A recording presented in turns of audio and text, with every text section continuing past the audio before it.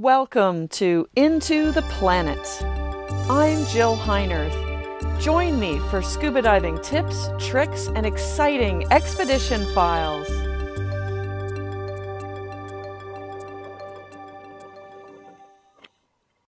For the life of me, I can't figure out why North American divers rarely dive with helmets.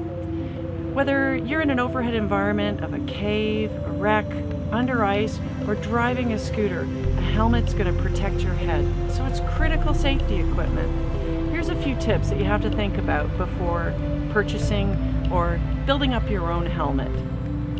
First, helmets like this bicycle helmet might look cool, but they're not exactly suitable for diving. They're made of foam, and there's no amount of lead applied to this helmet that's going to make it sink or be comfortable on your head.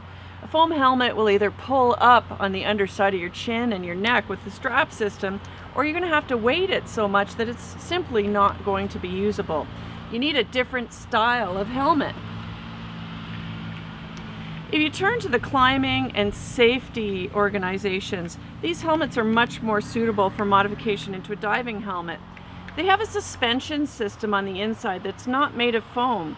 Literally, the straps sit on top of your head. It's still great for impact resistance, um, but it's not going to float. They also have a circumference band, like a headband that's adjustable. So whether you're wearing a really lightweight, like Lycra hood, or a 9 millimeter neoprene for cold water, you can adjust this to fit properly for the diving application you're using it for. This one from PMI is a typical climber's helmet and it's terrific. It's got some vented holes which serve another purpose. These vents, they'll allow bubbles to get out, but they'll also allow you to mount lights to the helmet without altering the structural integrity of the helmet.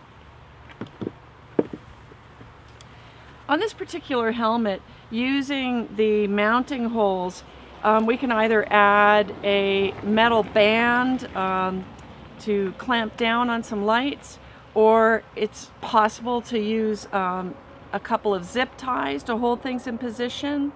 Um, or you can weave bungee cord in and out of these holes anchor it down and then slide the light in so that you can easily remove it and replace it when you're diving. If you do that method I suggest putting a clip on the back of the light and clipping the clip to the bungee or some other place so that if it slips out of the bungee straps, it's still clipped to your helmet and you're not going to lose it. You'll notice on this particular helmet, I've actually mounted the lights in a way that doesn't exactly look symmetrical. This forward light, this Gobi searchlight, has a very wide beam and it points straight ahead when I'm swimming so it can illuminate the environment that I'm swimming through.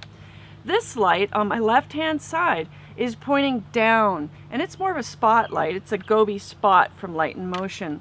And with this one, I can look at the slate on my wrist, look at a computer that doesn't have a backlight, or use my notebook and write a note and have that easily illuminated. Other helmets like this one are a little lighter weight in their design and they might be really suitable for um, travel when you're trying to get the airline weight down to a sheer minimum. The nice thing about this is the wheel for adjustment in the back of the helmet and that makes it really easy to switch from a thick thick hood to a thin little one and still fit you comfortably so that it stays snug on your head. Make sure that the chin strap is long enough and comfortable enough to come under your chin, including your hood, without being too snug that it's going to, uh, cut off any circulation. There's lots of different helmets on the market, varying from this Kevlar one with an open and closed vent structure in it, um, down to the lighter weight helmets um, that are easy for travel. The important thing is, is that your head's protected if you're scootering, if you're cave diving, if you're inside a wreck, under ice, or even in a situation where you're just surfacing under a boat. A helmet will protect your head.